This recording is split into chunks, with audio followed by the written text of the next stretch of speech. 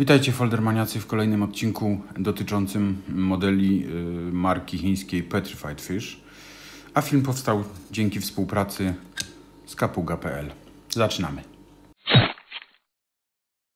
A bohaterem dzisiejszego odcinka jest PF959 Weteran, bo taka jest jego pełna nazwa.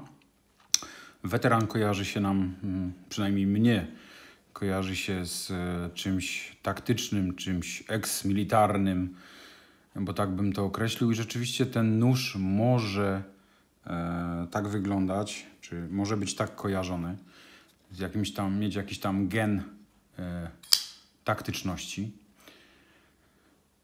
Trochę numerków. 215 mm to długość całkowita tego noża. 96 mm ma sama głownia. Jej grubość to 3,8 mm, natomiast waga tego noża to 149 gram. Mamy tutaj głównie typu e, clip point ze szlifem płaskim, niepełnym, wykonaną ze stali D2, pracującą na ceramicznych łożyskach i jak przyzwyczaił nas już e, producent, no ta mechanika jest genialna. Głownia opada pod własnym ciężarem. I to uwierzcie mi, nawet e, przy tak niekorzystnym kącie, e, z jakiego korzystam przy nagrywaniu tego filmu, wystarczy to, żeby ten nóż nam opadał. Rękojeść wykonana z G10. E, mamy tu kilka wariantów kolorystycznych. W polskiej dystrybucji są, z tego co kojarzę, trzy warianty kolorystyczne, jeżeli chodzi o rękojeść i dwa, jeżeli chodzi o głownię bo głównie możemy też zamówić e, w czerni, jeżeli ktoś lubi takie e, klimaty już mocno taktyczne. E, mamy ten szary kolorek, mamy wojskową zieleń i mamy ten wariant Coyote, czyli taką pustynną wersję kolorystyczną. Nóż jest fliperem i właściwie to jest jedyna forma jego otwierania. Można oczywiście nóż otworzyć oburącz bądź nawet przez uszczypnięcie, ale, ale myślę, że naj, najprostszym i najciekawszym sposobem otwierania tego noża to jest po prostu flipper. I tu ciekawostka, nie wiem jak oni to zrobili, ale słuchajcie, tego noża właściwie nie da się nie otworzyć. E, jak bardzo niechlujnie byśmy nie pociągnęli flipera, to on się otwiera. Byle jak, za każdym razem. Nawet powolne ślamazarne pociągnięcie otwiera nam głównie pięknie.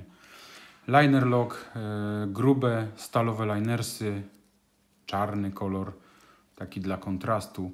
E, backspacer wykonany z G10, dokładnie w tym samym kolorze, w którym są okładki.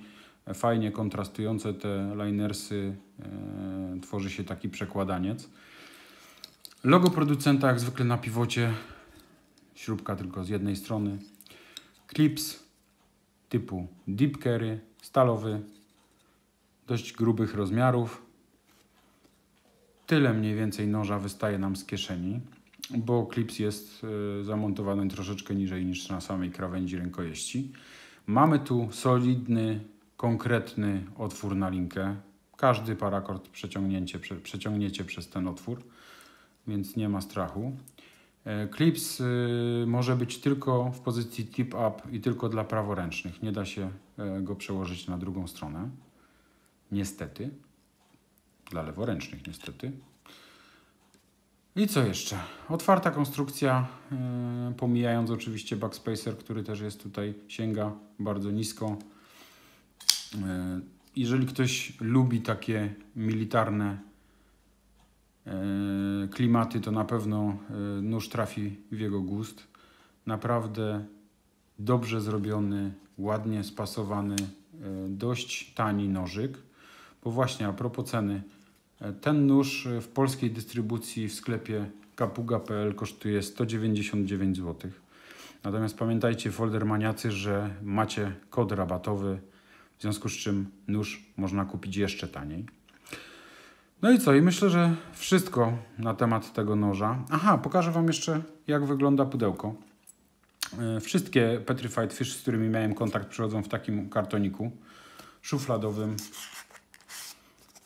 małym, zgrabnym.